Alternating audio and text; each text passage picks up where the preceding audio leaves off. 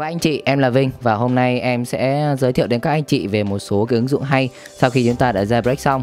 Phiên bản em đang có ở đây là iOS 8.3 và sau khi jailbreak xong cuối cùng em đã có thể cập nhật và cài và đặt được một vài phần mềm. À, nếu các anh chị đã cài phiên bản iOS 8.3 bây giờ anh chị sẽ vào cái TDA sau đó nâng cấp lên cái mobile sắp chết cái mobile sắp chết đấy sau khi được nâng cấp thì chúng ta có thể cài được các trick đang có trên CDA thì anh chị thấy là em vừa đã cập nhật thành công có chụp màn hình lại và bây giờ chúng ta sẽ cùng nhau tìm hiểu xem là cái ứng dụng nào nên cài đặt Em muốn gửi lời cảm ơn tới Mobile City đã cho em mượn sản phẩm thực hiện video này. Nếu anh chị muốn mua iPhone, đặc biệt là hàng lốc, có thể truy cập website mobilecity.vn.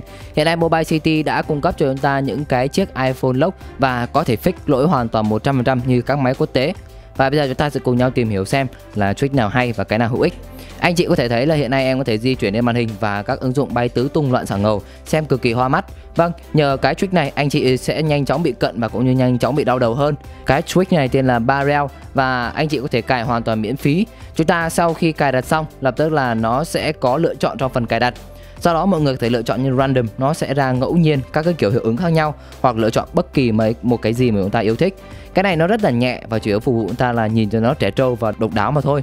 Check thứ hai mà em cho rằng vô cùng hữu ích mà anh chị nên cài vào đó tên là Bio Protect. Thì cái này sẽ đóng vai trò là chúng ta bảo mật bằng dấu vân tay.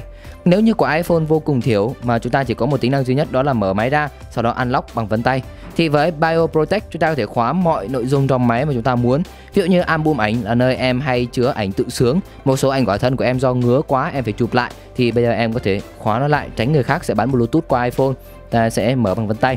Anh chị thấy là hoạt động của nó vô cùng hiệu quả Và nếu không có vân tay của em Anh chị có truy cập bằng trình đa nhiệm cũng không bao giờ có thể vào được anh chị thấy chưa? Vô cùng tốt và chất lượng. Cái thứ ba mà em cho rằng chúng ta không thể thiếu, Đó chính là Virtual Home. Thì với cái này chúng ta sẽ giả như là một phím home cứng. Nếu như đối với iPhone, mọi người phải bấm mạnh cái phím home cứng để trở về màn hình home. Thì chúng ta sợ bị liệt chẳng hạn. Thì thay vì bây giờ lo liệt phím home, chúng ta sẽ làm cho nó liệt khu vực cảm ứng. Và cái cách là toàn bộ các thao tác mọi người muốn thoát về, ta chỉ cần chạm nhẹ lên thôi. Lập tức là nó sẽ thoát ngay. Và chúng ta chỉ cần chạm nhẹ lên hai lần, thì máy sẽ có thể khóa lại được và ở màn hình khóa nếu như ngày xưa đối với iPhone chúng ta phải mở khóa máy lên cho sáng màn hình sau đó chúng ta chạm vân tay vào mới mở được thì lần này với cái phần mềm đó các bạn chỉ cần chạm nhẹ lên không cần phải mở máy là như vậy coi như là mở khóa máy thành công đây là một cái công cụ tuyệt vời dành cho những sản phẩm nào có đi kèm với Touch ID 5S 6 6 Plus cái thứ tư đó là CC Quick Pro đây là một công cụ không thể thiếu, nhấn mạnh là không thể thiếu nên cài đặt.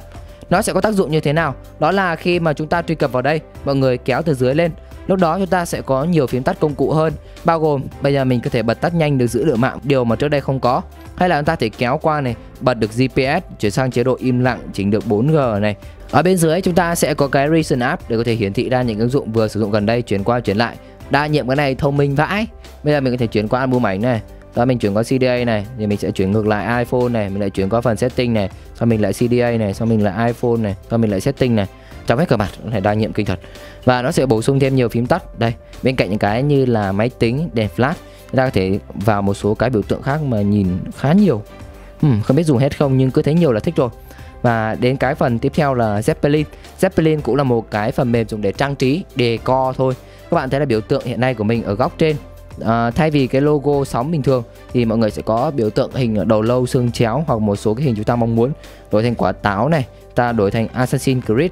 Cloud Dark Knight này Infinity chúng ta có Iron Man vân vân đó nó sẽ thay cái biểu tượng logo chán chê bằng những cái biểu tượng mới đẹp và đáng yêu hơn như vậy đây là một vài trick mình đã test trên iOS 8.3 trên chiếc iPhone 5s sau khi jailbreak xong. Lưu ý cho mình đó là hãy vào CDA nâng cấp cái mobile sắp chết, sau đó chúng ta sẽ thể thoải mái cài đặt những cái trick này.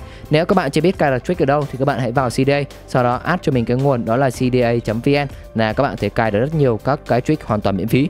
Xin cảm ơn Mobile City một lần nữa vì đã cho em mượn sản phẩm thực hiện video này. Nếu anh chị muốn ra break hoặc là có thể cài, fix lỗi những cái sản phẩm sách tay với hàng lốc thì anh chị có thể đến mobilecity.vn. Hẹn lại anh chị trong các video lần sau. Em biết đây.